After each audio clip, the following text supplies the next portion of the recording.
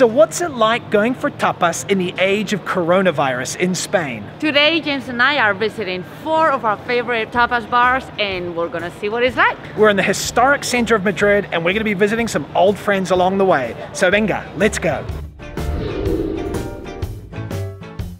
So just waiting in line, that's the thing you have to do these days is wait in line because there's limited space inside now. They're not packing them in. But I'm really excited to take you in and show you guys what the measures are that tapas bars are taking to keep people safe because I didn't even know what they are. I'm looking forward to figuring it out and learning because it's the first time been out for tapas in the center. So, so you're gonna find as you go into the bars, hand gel that you've gotta use to sterilize yourself.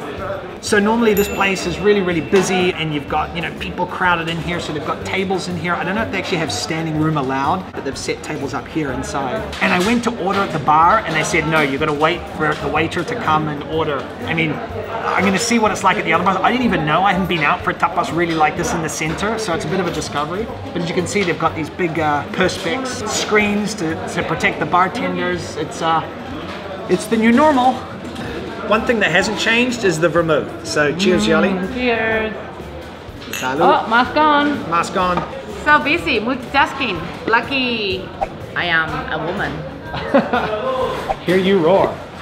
So obviously you've got to wear your masks in these places, but if you're eating and drinking, you don't have to wear your masks. You take it off to, to eat and drink. It's kind of how it works. What you're also going to find now is they won't give physical menus. There actually was never a menu in this place. It was always written up there, but you'll see a lot of bars that have QR codes. They've got one here. You scan it and the menu comes up on your phone. Very technologically advanced for Casa Labra. I'm really curious to see how it is at these different bars because uh, I wasn't expected it to be so kind of intense here. I thought it would be a little looser, like some of the places in our neighborhood that it's just masks and that's the really only difference. But these guys got to really set up, which is great. It's protecting people, right? Yeah. We have our, our tours come here, so it's great to know that people are going to be protected and it's organized. Yeah, feel safe. Feel safe. We're a bit out of habit of shooting tapas videos. I just took a bite without Yoly filming me take a Oh, bite, no. which uh, it was pretty good. It was wide-eyed good. So second bite. Even better. The bacalao here is amazing. And I'm a Kiwi. I know fish and chips, and this stuff is good. So good. What do we get, Yoly? well, James got naughty and got some croquetas. Ah, for you, because you're the croqueta queen. Thank you. So these are ham, right? Bacalao. Oh, It's all cod, baby. It's cod all the way down. hot, hot, hot. Mm. Very soft. The flavor is just delicate, beautiful. All right, rest of the vermouth. Oh, So these guys have a sign to remind you, keep the keep the distance, keep the security distance. No more than 10 people per table. Got to use the mask, got to wash your hands. Only one person in the bathrooms at a time. Don't share knives and forks. And put your trash in the bin, which you know in some of these places is a challenge because the tradition is to throw it on the floor. Yeah. I wonder if that's a tradition we're going to lose. I know. Throwing trash on the floor. I'm sure there's some people who won't be upset about that. All right, let's hit the next stop. Hasta luego. Gracias. So I've just met these two guys. They're here, tourists. There are tourists back. This is Matthew and Alessandro. They're living in France and they're coming to Casa Labra. And they're wearing masks. And Alessandro's a doctor and he's very impressed with how Spain is handling coronavirus. hey, how about that? So it's an honor meeting this guy here. Popular, famous on YouTube. So That's we're great. meeting a celebrity basically. Yeah. if I wasn't wearing a mask, you'd see I'm blushing. but yeah, let's grab a photo. Yeah, yeah, yeah. Hi. How are you? Nice to meet you. Hi. Okay. Next stop, Casa González, here in the Huertas neighborhood. ¿Qué tal? ¿Cómo estamos, Dani? Eso. Hola. ¿Qué tal estás? Ta, ta, Dame el codo, venga. Dame el codo. so here we are in Casa González. This man over here is Paco, masked up, running it. It was started by his grandfather. You can see a picture of his grandfather above there. And uh, they survived the Civil War. They'll survive this. Angel, going out for tapas is hard on your hands, man. I know. No skin left. So here are the rules. Like in Labra, they had the rules. Here, it's like wait till you get given your table. So you have to come and wait. Uh, four people crossed out. Now six groups per table maximum. It used to be four. Uh, and here we go. Here is the menu. This is their this is their QR code. Paco said. So Labra had the QR code. These guys have got a massive menu that they bring up to your table. So back to our rules. So you see, it was four people maximum, now it's six because as the de-escalation of, of, of lockdown has gone, they've gone expanding how many people can, can sit down.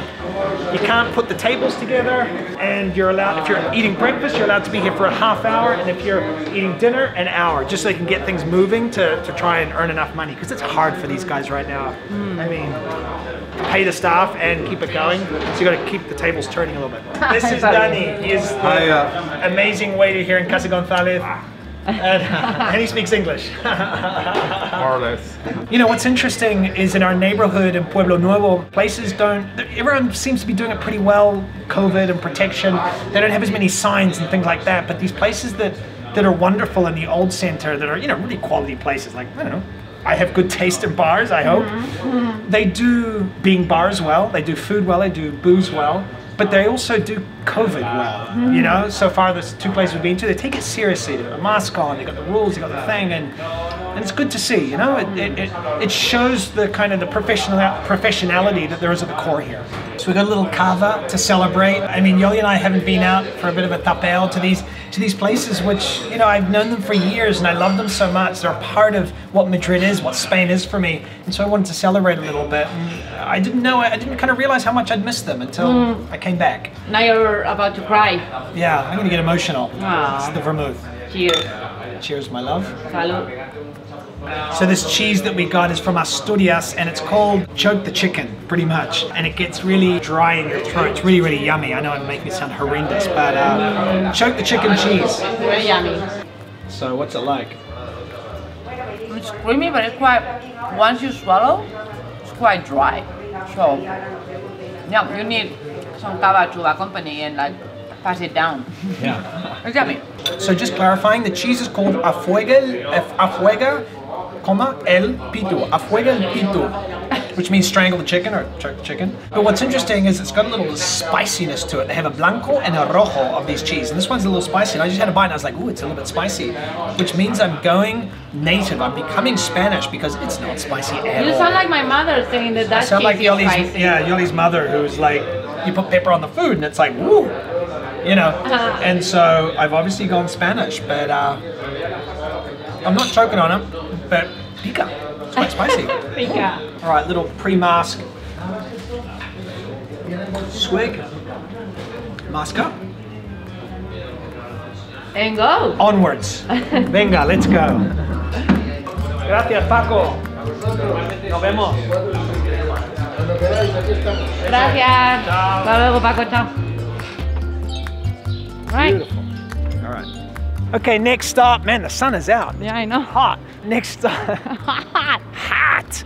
Next stop, we're going to the classic little double whammy, the, the La Casa del Abuelo Casa Tony two punch, double punch, double whammy. I don't know what I'm trying to say, some metaphor that is escaping me because of the intense heat on my forehead. but uh, gambas and then Casa Tony just for like hugs and love. You know, Oh, no hugs. no hugs, lots of love, and maybe some mollejas. Maybe not. I don't know if it's a mollejas day or not. Oof.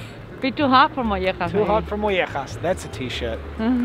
So the Casa del Abuelo family runs in, in like the third, fourth generation. 1906 is when it started, just one street away from here. They have four different places here in the center that they've opened over the last, over the decades. A couple of them are still closed and this one is open. So uh, it's time for gambas al ajillo. These Aw. guys are famous for this dish and uh, and it's been a while. It's been too mm. long. Actually, no, it hasn't been. About two weeks ago, Yoly and I had some. But we didn't put it on YouTube video, put it on Instagram. So, two. Second one. Yeah. Hygienic white per person here at La Casa del Abuelo. So, as I say, everyone's doing it a little bit differently, but they're doing it right, which is good. And I see a little QR code to my right, hygienic white to my left, QR on my right. I'm surrounded by health and safety. and some wine up here, thank God. One thing I don't like is I'm starting to see this people Oh, are wearing them on their sleeve, like chulo, Yeah. like hey man. If you see it, it's not Yeah. cool. Kind of dorky. All right, I'm gonna try the QR code and see what's going on. Boom, boom.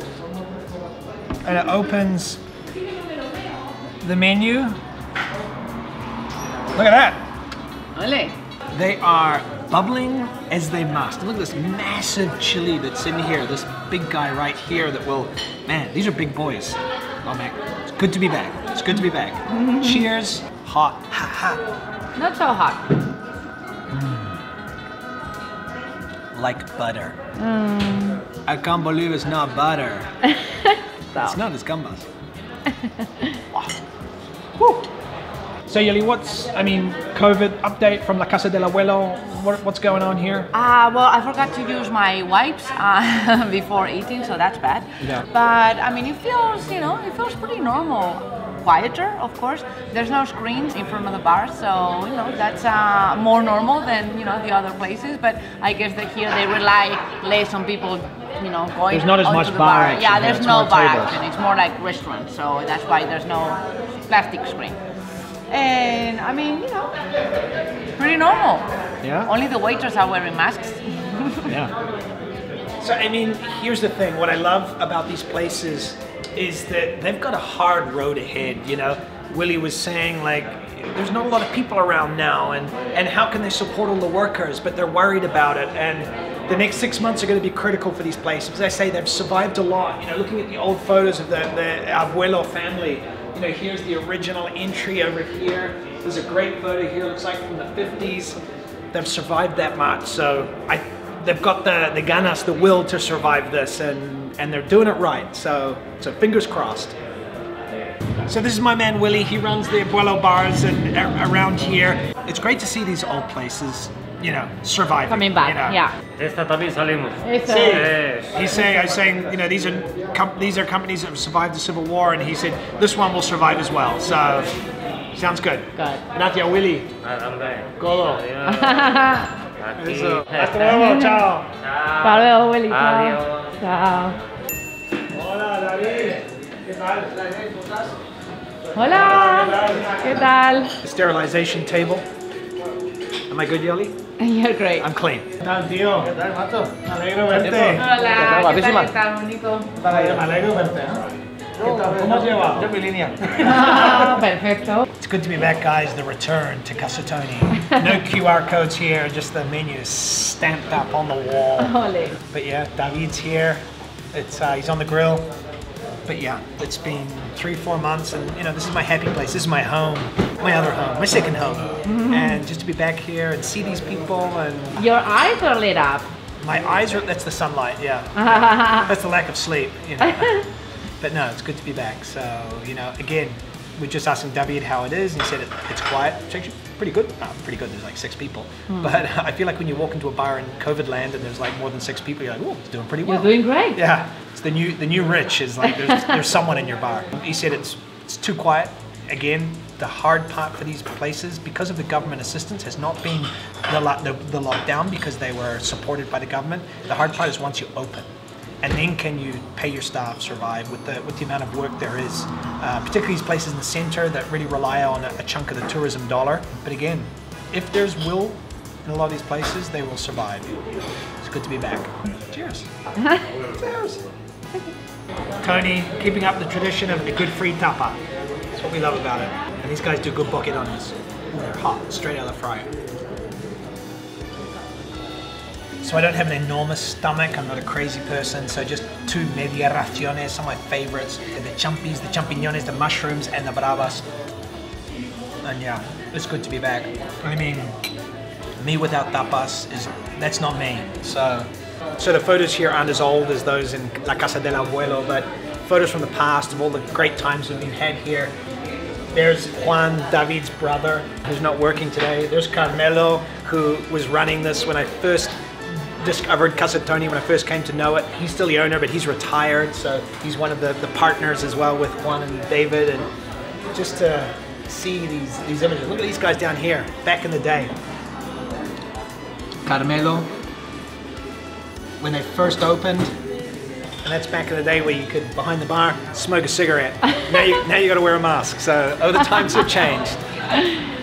So, guys, while there may be QR codes and screens in some of the tapas bars, and they may be a little quieter, I think what I've what I've felt and realized today is the food is still wonderful in the good places. The good places are fighting, and the soul is still there. The people are there who who, who put all the passion into what they're doing, and the, the soul of tapas is is still with us, and that's just wonderful. And it feels great to be back. So, if you want to keep living the tapas dream and watching videos of wonderful tapas bars, click this playlist here, which I've made of some of my favorite tapas places all over Spain. We'll see you over there in a moment. All right, thanks for watching.